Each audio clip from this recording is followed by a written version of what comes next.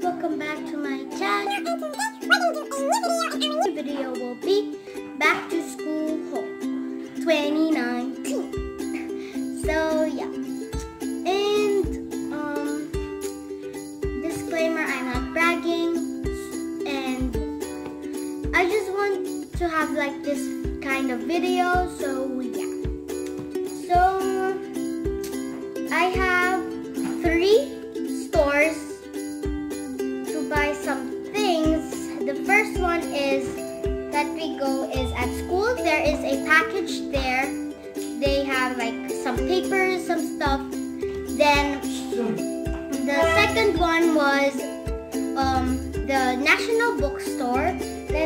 one was Miniso. So let's get started to the video. So let's go first to my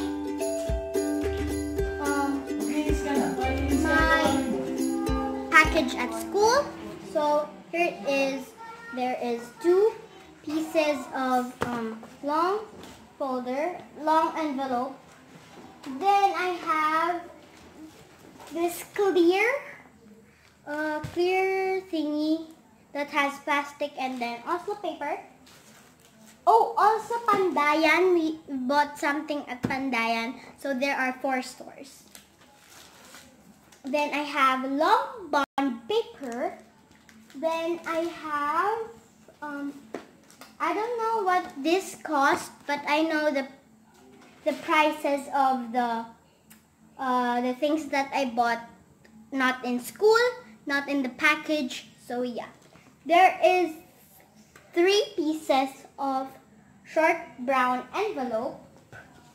Then I have manila paper here. Then I have this short bond paper. There you go. It's short. Then I have this um, construction paper. Then I have, I just recycled this. This is my whiteboard there. Since grade 2, I think. Since grade 2, I use this. So, yun yun. Then, meron din akong i-recycle which is this one, my ruler. Kasi bagong bili lang to, siguro mga kalahating class lang ko lang siya nagamit. Kalahati lang nung quarter kasi naputol yung isa kong ruler. Tapos meron akong two, two pads, two pad ng, two pads ng Easy Write na intermediate pad. Kasi kailangan namin yan sa mga sulat hindi formal. Then, meron akong Oopsies. Then, meron naman akong ito, one half lengthwise. Lengthwise naman siya. Tapos, meron din ako Tapos, meron din akong one half crosswise naman. You can call this one a quiz pad. Then, ito, one fourth. Na, one fourth naman to. Yung ganito. Minsan lang kasi namin ito din ginagamit. Pero, yun yun. Tapos, ito din pala yung package. Ito, meron tong kasamang eraser. Basta meron siyang kasamang eraser, nandyan, nandun siya kasi hindi siya mag-fit dito. Kaya nilagay ko siya sa ibang lalagyanan. Pero hindi siya yung, pero hindi ko yon dadalhin sa school kasi meron naman akong iba pang eraser. Tapos ito yung sharpener. Ayan. Tapos, doon naman tayo sa pandayan. Ito, doon kami nagpagawa ng mga pangalan. Ito yung sa kapatid ko, which is Spider-Man. Basta Spider-Man siya, di ko na lang papakita yung pangalan. Basta yan yung Spider-Man.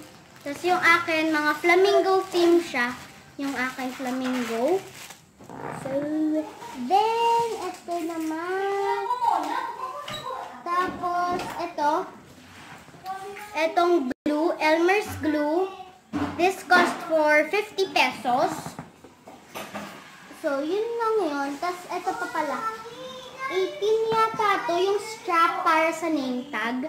18 pesos na yata to. Ito yung strap. Kaya pink yung binili ko kasi pink din siya. Which is yung flamingo. Ayan yung theme nung sa ano ko, name tag ko. Parehas lang din siya nung ano ko, nung name ko.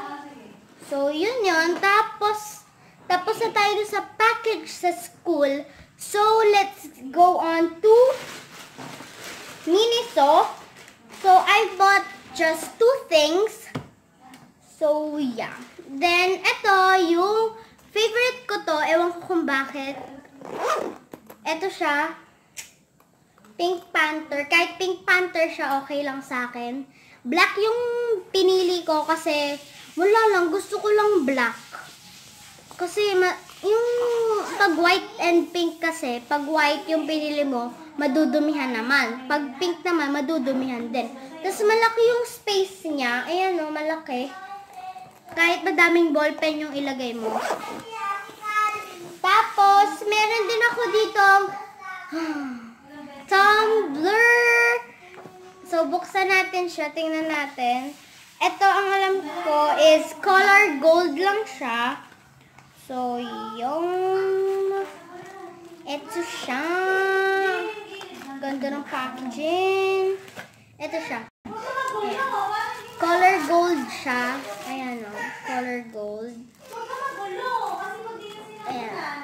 Hindi siya makita masyado dahil dun sa light. Wait.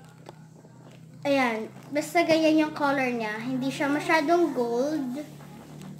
Gold naman siya, pero hindi ganun as in gold gold. So, okay. Yan. So, yan yung color niya. And, kaya hindi yung maliit yung binili ko kasi malakas ako sa tubig. As in everyday. Hindi naman everyday. Siguro paminsan-minsan lang. Pag napapagod ako, nag-ano ako, tawag dito, palagi ako umiinom ng tubig. So, yeah. So, yun yung mga pinamili ko sa Miniso. Ay, this cost pala for 107, 180. Then, this cost for 500 pesos. Then, doon naman tayo sa last na um, pin... Ay! Yung sa mga name pala, yung mga pinagawaan ko ng name ko ay doon siya sa Pandayan. So, tas pumunta na tayo sa mga National Bookstore. So, eto, hindi ko alam kung kanino to, yung sticky. Pero di ko alam kung sa kapatid ko to or sa akin na to mapupunta. So, yeah.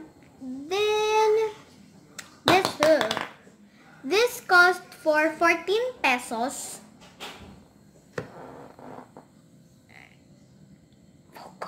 Ayun yung mag-focus. Basta 14. Then, bumili ako ng dalawang ball pen na Fine Tech. The other one is 3.0.3. Then, the other one is 0.4. Then, this cost for 30 pesos each. So, yeah. Then, I also bought this um, Dong A correction tape. Here is, A correction tape. And then, also this um, two Sharpie. Um, this one is the Sharpie twin one. The twin tip. Oh, this cost for, oh my gosh. I forgot the price of this one. So, hin nakalimutan ko yung price. Basta mga nasa ganun lang. Siguro mga 30 pesos. Hindi yan. Mga 60 siguro siya. So, this cost, ito meron akong twin Sharpie. So, this cost for 69 pesos, 0.75, which is, it's, it costs for 70 pesos. It has this thin one. Oh my gosh! I bought two, but the other one is not twin. It's just ultra fine point. Then this one is just a normal, normal tip. And I also bought the same tip as the twin one, which is this one. It's just the same tip. So, oh, this cost for 68 pesos. This one, the not twin one, but this one is for 70 pesos, the twin one. Then I also bought this scissors, which cost for Oh my gosh, I forgot also the price. Sorry. Then this one cost, the whiteboard marker cost for 32 pesos. Then the the Mongol um, exam standard eraser cost for 18 pesos. Then this protractor cost for like 30 pesos this protractor and hindi siya pantay ng gupit. Hindi siya pantay. Hindi siya pantay ng gupit. Hindi siya pantay. Eh. Ewan ko kung pantay. Hindi...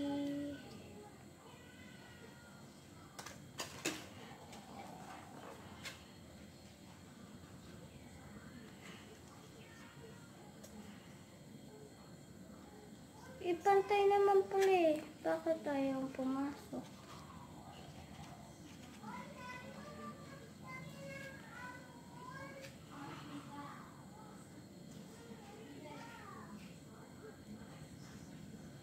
Pantay naman pala. So, ayan siya. Protractor. Then, pumili ako ng isang correction pen kasi baka maubusan ako ng correction tape. This cost for 27 pesos. Then, meron din ako itong Artline na magnetic eraser which cost for 130 pesos. Dapat talaga yung bibiling ko lang is yung maliit. Pero wala sila. So, ito na yun ang yung binili ko. And then, bumili din ako for my, for my um, ID case which cost for 18 pesos. Then I also bought this um, uh, five pencil with a um, with a sharpener. This cost for 70 pesos. Then I also bought this um, um, color pencils. This Titu Titus uh, 12 color pencils.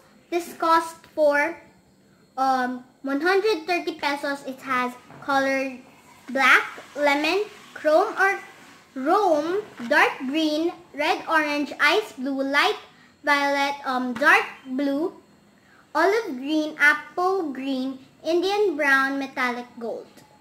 So those are the uh, the pencil, the color pencils. Then, oh, yeah. Then I also bought this um, stapler because I need stapler. And I'm incoming grade 5. So yeah, this cost for 101 pesos. So yeah. So those are the things. So let's put So, po fast forward ko na lang, ipuput ko siya